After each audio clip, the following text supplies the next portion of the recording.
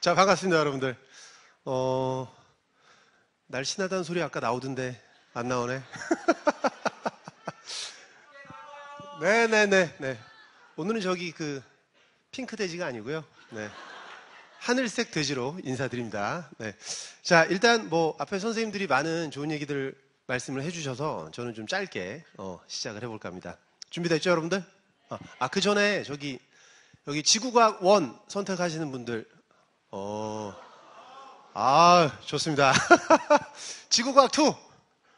어, 그래요. 네. 자, 그러면 인사 한번 제대로 또 하고 시작해 보도록 하겠습니다. 안녕하세요. 반갑습니다. 진화하는 수능지구학 전문가 오지현입니다. 아. 자, 한 번 다시 할게요.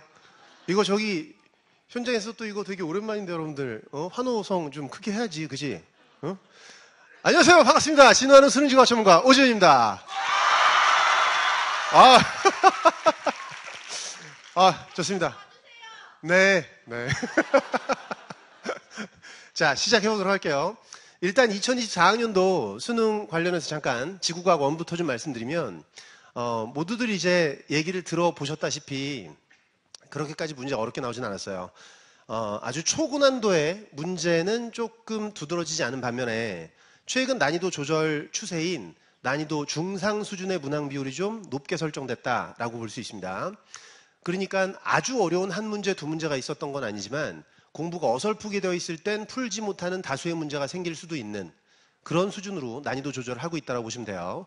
근데 사실 이전과 비교한다면 사실은 2024학년도 수능은 지구과학원 좀 평이하게 출제된 게 부인할 수 없는 사실이, 사실이다라고 볼 수 있겠고, 어, 그리고 최근 추세도 비슷해요. 그래서 밑에 이제 저 표 보시면 1등급 컷 쭉 나와 있는데 2022, 2023, 2024 1등급 컷이 많이 높아진 거 볼 수 있죠? 좋아요. 자, 그리고 이제 수능 주요 문항 몇 문제를 보면 어, 지난해 수능 보셨던 분 손. 어, 그래요. 올해 고3 되시는 분 손. 아, 그렇군요. 네. 올해 고2 되시는 분. 어? 오, 좋습니다. 네. 일단 이 문제 직접 아직 안 풀어보신 분들도 계실 것 같아서 간단하게 설명드리면 문제가 겉으로 볼 땐 좀 복잡해 보이고 뭔가 숫자도 나오고 계산도 해야 되는 그런 문제인데요. 사실 이 문제를 풀 때 적용시켜야 할 개념이라든가 계산 과정이라든가 모든 원리는 기출문제에서 수차례 출제가 됐었다라고 보시면 돼요. 아시겠죠? 하지만 정답률이 그렇게까지 높진 않았던 문제이고 어, 지금 보시는 문제도 20번 문제인데 일단 문항 설정 자체는 이전에 없었던 조금 생소한 포인트를 추가해 놓은 게 분명하긴 해요. 하지만 이것도 문제 답을 찾아 나가는 과정의 어떤 원리라든가 개념이 적용되는 과정은 이전에 있었던 수많은 기출 문제에서 반복적으로 다뤄졌었던 내용이다라고 볼 수 있어요. 알겠지? 그러니까 기출 문제를 잘 풀어낼 수 있는 역량을 갖추고 있었다면 사실상 지난해 수능 문제를 풀 땐 큰 어려움이 없지 않았을까라는 생각을 합니다. 물론 뭐 말은 이렇게 해도 사실 현장에서 그 긴장감을 이겨내고 집중력을 유지한 상태에서 문제를 잘 풀어내는 건 사실은 그렇게 쉬운 문제는 아니긴 해요. 하지만 어, 기출 문제가 중요하다는 말씀 드리고 싶고 지구과학 2 얘기로 바로 넘어가면 지구과학 2는 뭐 다른 투 과목과 마찬가지로 네, 아주 쉽게 나왔어요. 음, 진짜 시험지를 처음 받았을 때도 어 이거 너무 쉬운 거 아닌가? 그런데 해설 강의를 찍을 때 보니까 아, 이건 더 쉽게 느껴지는 거예요. 어, 그럴 만큼 쉽게 나왔습니다. 그래서 등급 컷도 지금 최종 확정 등급 컷을 보시면 사실은 되게 높게 나온 거 볼 수 있죠? 어, 근데 여기서 조금 주목할 부분이 1등급 컷은 48, 2등급 컷은 43인데 3등급 컷이 33점이에요. 그렇죠? 그리고 만점 표준 점수는 물론 2022학년도 수능보다는 낮긴 하지만 72점이 나왔거든요. 그러니까 1등급 컷이 48인데 만점 표준 점수가 72점으로 나왔다는 건 어, 제가 문제 쉽다고 했잖아요. 그죠? 그러니까 그, 그 정도 문제를 충분히 풀 수 있는 역량을 갖춘 친구들은 있기는 있지만 그 친구들이 많은 비율은 아니었다. 대다수의 학생들은 공부를 조금 소홀히 했다라고 볼 수 있을 것 같아요. 평균은 낮지만 내용을 알고 공부가 된 친구들은 네, 편하게 풀 수 있었던 그런 시험이지 않았을까 생각합니다.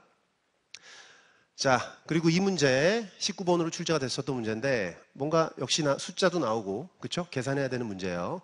이것도 마찬가지예요. 기출 문제에서 충분히 많이 반복해서 다뤄졌었던 그런 내용으로 구성된 문제고 자 18번으로 출제된 이 문제 같은 경우는 이제 지구과학 2에서 가장 고난도 개념인 행성의 운동 쪽에 대한 주제의 문제인데 어, 문제가 냉정하게 보면 쉽진 않아요. 근데 공부가 된 친구들은 사실은 연필로 뭘 끄적끄적 하지 않고 문제 그림을 머릿속에 대충 떠올려 보기만 해도 어렵지 않게 답을 찾아낼 수 있는 그러한 수준의 문제였다고 볼 수 있습니다.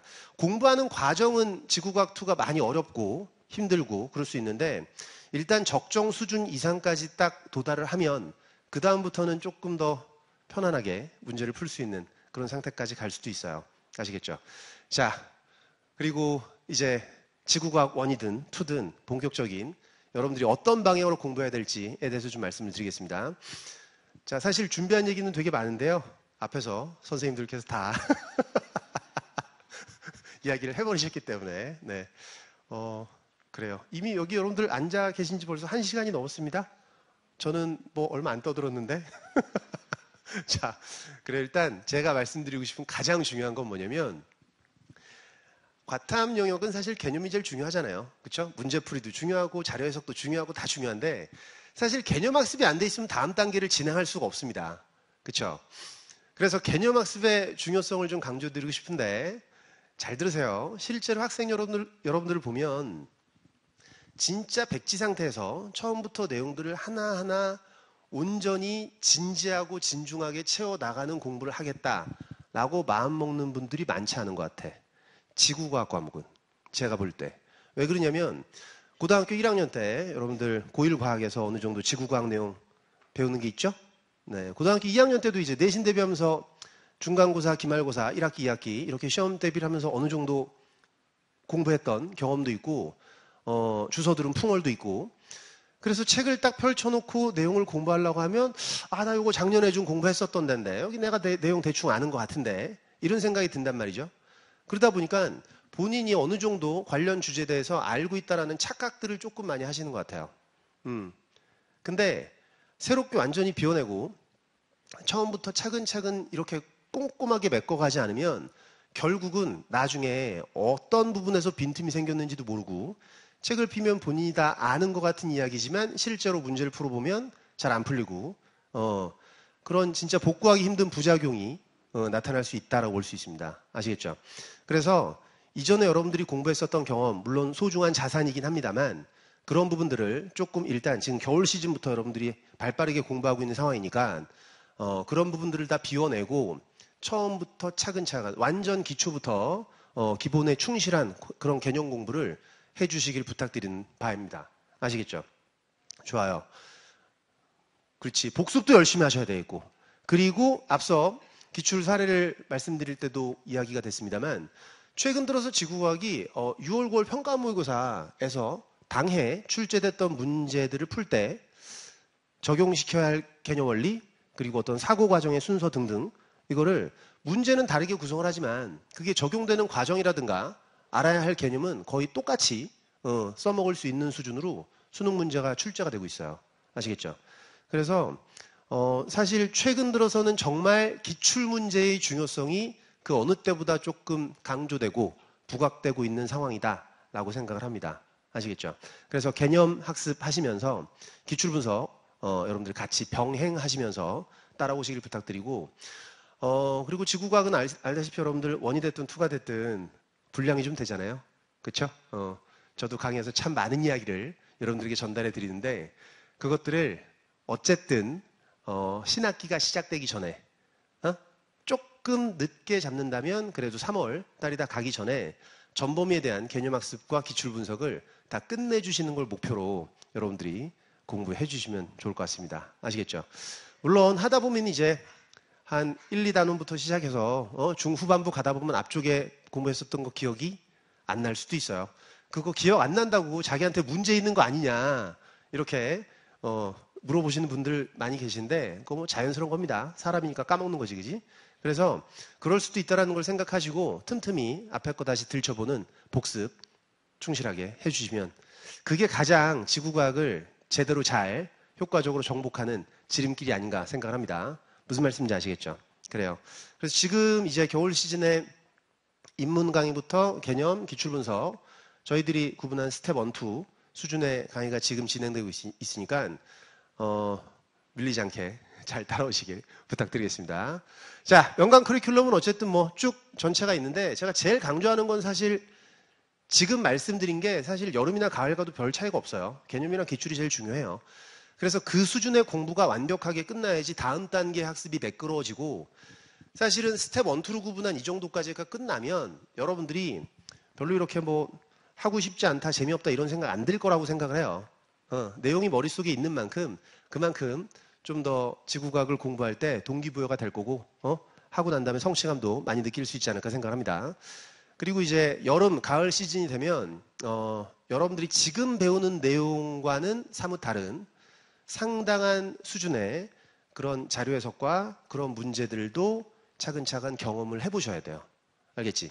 그래서 그런 어, 많은 컨텐츠들 열심히 준비하고 있으니까 잘 따라오시길 부탁드리고요. 자, 지구과학 2 같은 경우는 3월까지 개념학습을 다 끝내는 건 사실상 좀 불가능해요. 쉽지 않아. 어, 다른 과목 공부가 너무 잘 돼 있어서 지구과학 2만 하면 된다. 그러면 상관이 없는데 대부분은 그렇지 않거든요. 그래서 지구과학 2를 하시는 분들이라면 6월 평가원 모의고사가 치러지기 전에 전범위에 대한 개념, 개념학습과 기출 분석을 끝내는 걸 일단 목표로 해주시고 물론 6월 달이 전범위 시험은 아니에요. 하지만 그 전까지 전범위 개념 및 기출 분석 끝내주시고 그 이후에 9월 평가원 모의고사가 치러지기 전까지 한 두세 번 이상 개념 학습에 대한 반복 연습을 해주시는 걸 목표로 일단 어, 해나가시면 되지 않겠나 생각을 해봅니다. 좋습니다. 제가 준비한 얘기 일단 여기까지 마무리하도록 하고요. 네, 현장에 와주신 여러분들 너무너무 감사드리고 저는 이만 물러가도록 하겠습니다. 감사합니다. 어? 네. 네. 저기 그리고 이제 1부 순서가 이게 끝난 거라고 해요. 그래서 바로 이어서 2부 순서 진행하도록 할 테니까 네. 그 막 박수 치고 소리 지르려고 할 때 시켜야지만 하지 말고 네, 열렬한 성원 부탁드리겠습니다. 네, 좀 이따 올게요.